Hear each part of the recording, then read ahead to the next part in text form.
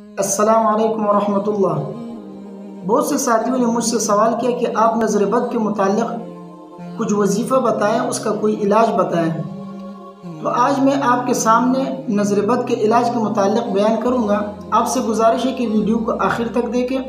اور اگر ابھی تک آپ نے ہمارے چینل کو سبسکرائب نہیں کیا تو ضرور سبسکرائب کر لیں۔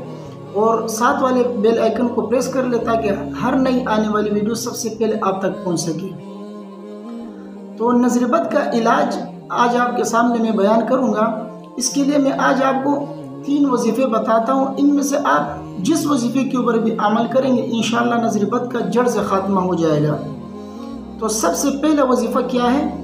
سب سے پہلا وظیفہ یہ ہے کہ آپ سورہ فاتحہ ایک مرتبہ پڑھ لیں، آیت الکرسی ایک مرتبہ پڑھ لیں۔ اس کے بعد قرآن کریم کے آخری جو دو صورتیں ہیں، جس کو معوذتین کہتے ہیں یعنی قل اعوذ برب الفلق اور قل اعوذ برب الناس، یہ دو صورتیں آپ پڑھ لیں، اس کے بعد ایک دعا ہے، آخر میں چھوٹی سی ہے وہ پڑھ لیں۔ وہ کون سی دعا ہے؟ میں پڑھ کے سناتا ہوں، آپ اس کو یاد کر لیں۔ اعوذ بکلمات اللہ تامت من کل شیطان وہام ومن کل عین لامہ۔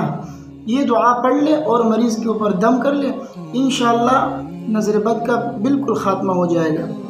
اگر یہ وظیفہ آپ کے لیے مشکل لگ رہا ہے اور یہ آپ یاد نہیں کر سکتے، تو اس سے ذرا آسان وظیفہ بتاتا ہوں، دوسرا وظیفہ۔ وہ وظیفہ یہ ہے کہ صورت القلم کی آخری جو دو آیتیں ہیں صورت القلم یہ انتیسویں پاری کی دوسری صورت ہے صورت الملک کے بعد آتا ہے۔ تو صورت القلم کی آخری دو صورتیں وہ آپ مریض کے اوپر سات مرتبہ پڑھ کر آپ دم کریں۔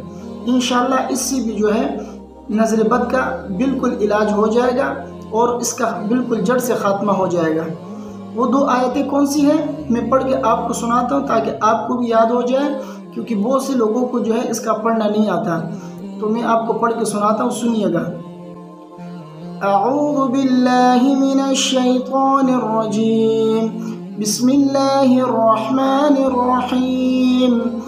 وإن يكاد الذين كفروا ليزلقونك بأبصارهم ليزلقونك بأبصارهم لما سمعوا الذكر ويقولون إنه لمجنون.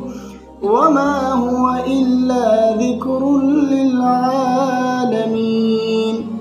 یہ دو آیتیں آپ مریض کے اوپر سات مرتبہ پڑھ لیں اور دم کریں۔ انشاءاللہ نظر وقت کا علاج ہو جائے گا۔ اور اگر یہ بھی آپ کے لیے پڑھنا مشکل ہو رہا ہے، تو تیسرا وظیفہ آپ کو بتاتا ہوں، اس کے اوپر عمل کر لیں۔ یہ ایک چھوٹی سی دعا ہے، بہت آسان ہے، جو نبی کریم صلی اللہ علیہ وسلم نے بیان فرمائی۔ وہ کون سی دعا ہے؟ وہ یہ ہے بسم اللہ اللہم اذہب حرہا و بردہا و وصبہا۔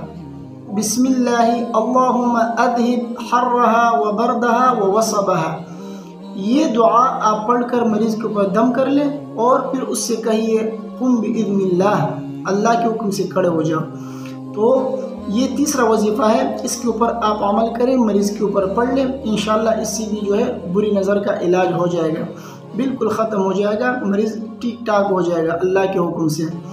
اللہ تبارک و تعالیٰ مجھے اور آپ سب کو عمل کرنے کی توفیق عطا فرمائے۔ ویڈیو کو زیادہ سے زیادہ آگے شیئر کر لیں۔ السلام علیکم ورحمۃ اللہ۔